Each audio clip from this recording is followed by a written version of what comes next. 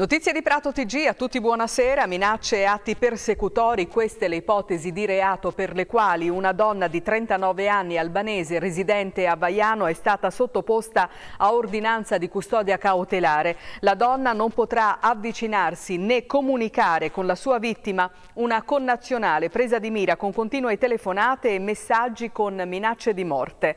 I carabinieri hanno notificato ieri il provvedimento del tribunale. La vittima di stalking era caduta caduta in un profondo stato di ansia e di angoscia procurato dal comportamento ossessivo della 39enne che alla fine ha trovato il coraggio di denunciare.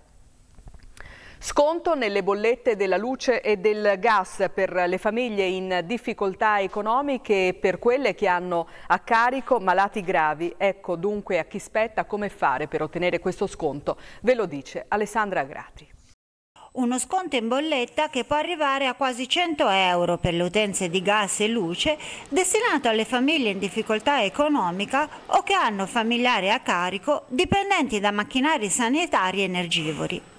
Dal 2008 è possibile usufruire del bonus energia, ma in pochi conoscono questa opportunità.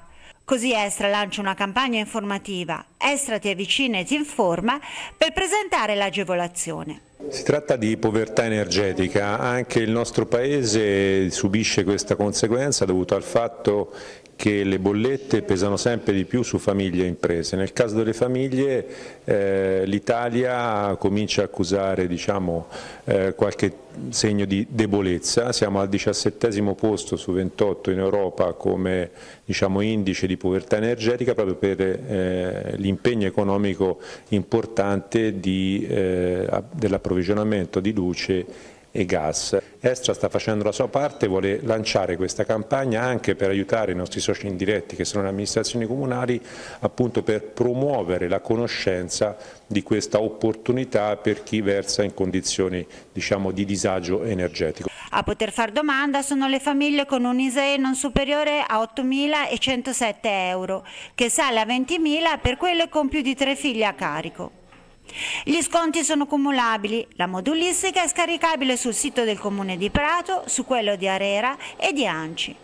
Le domande dovranno essere consegnate agli uffici dell'assessorato ai servizi sociali e ai CAF. L'indicazione dell'autorità per l'energia che è recepito permetterà ad alcune famiglie, ad alcune persone ad, di accedere a questa forma di, di, scontisti, a questa forma di sostegno e quindi magari vediamo se riusciremo noi a recuperare eh, queste, queste, risorse e adoperarle sempre per il sostegno alle persone in difficoltà ma magari sotto, altri, sotto altre voci, sotto altri capitoli.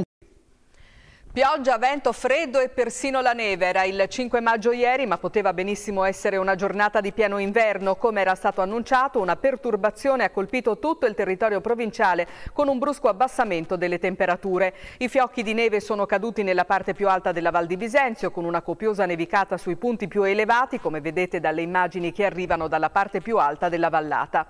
Tanta neve a Poggio di Petto, sopra Cavarzano, anche Montepiano è stata coperta da un manto di neve fuori stagione, mentre i fiocchi si sono fatti vedere anche a Sasseta e in tutti i punti più alti dei comuni di Vernio e di Cantagallo. Sabato prossimo Piazza delle Carceri cambierà volto e si trasformerà per un giorno in una mega palestra a cielo aperto. Sentite Alessandra Grati.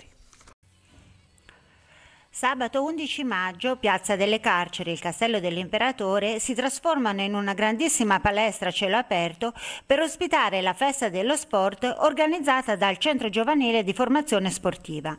È una giornata di sport, una giornata di avviamento e di dimostrazione di tre discipline eh, fondamentali. Tre discipline fondamentali che vengono fatte con passione e professionalità eh, dal Centro Giovanile di Formazione Sportiva, è l'inizio del percorso sportivo dei ragazzi che noi vogliamo eh, contribuire a formare e fortificare sia per i bimbi che nelle famiglie, perché dal nostro punto di vista uno degli aspetti eh, più preoccupanti eh, della crescita e dello sviluppo formativo dei ragazzi è legato all'abbandono sportivo. Il Comune di Prato e il CGFS fanno parte di un progetto pilota per tamponare l'emorragia di abbandoni. Sono state infatti organizzate alcune squadre che partecipano ai campionati minori e hanno menore di allenamento. Una pratica che sta dando ottimi risultati soprattutto nel nuoto, dove i ragazzi continuano l'attività sportiva almeno fino ai 17 anni, contro i 13 delle altre discipline. L'appuntamento è alle 9 e si continuerà fino a mezzogiorno. In questa prima edizione inizieremo con gli sport di squadra, quindi sarà presente la pallavolo, la pallacanestro e la pallamano. Ci saranno circa 600 bambini che frequentano i corsi eh, delle nostre attività in palestra nell'extra scuola al pomeriggio. Inoltre saranno invitati anche tutti i bambini delle scuole che hanno svolto i progetti scolastici inerenti alla pallavolo, al basket e alla pallamano. E c'è grande attesa per una iniziativa in programma Appoggio a Caiano dove si raccoglieranno fondi da destinare all'ospedale pediatrico Meyer di Firenze. All'asta sarà battuta la maglia di uno dei campioni della Fiorentina più amati, Federico Chiesa. Claudio Vannacci. Si concluderà con un'asta benefica con la maglia di Federico Chiesa, il giocatore della Fiorentina in palio, la giornata di sport e divertimento organizzata a Poggio a Caiano con lo scopo di raccogliere soldi per la Fondazione Tommasino Bacciotti che da oltre 20 anni è impegnata a fianco dell'ospedale pediatrico Maier di Firenze.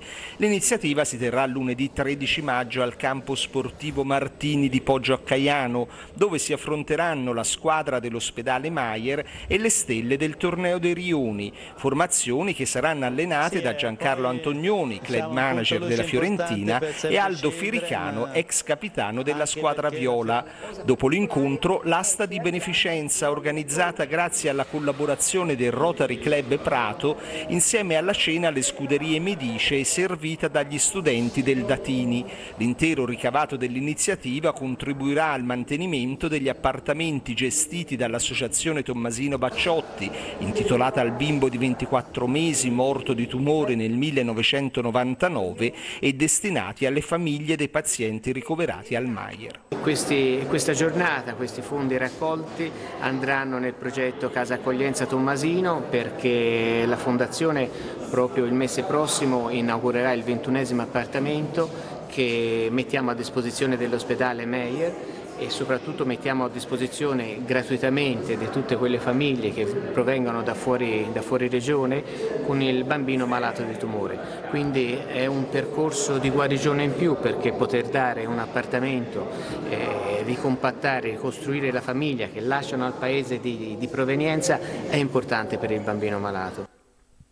Parliamo di politica, le elezioni a Montemurlo, il vice sindaco uscente Simone Calamai che si è messo in corsa per la poltrona di primo cittadino può contare sul sostegno di un'altra lista civica. Si chiama Amare Montemurlo ed è stata presentata questa mattina.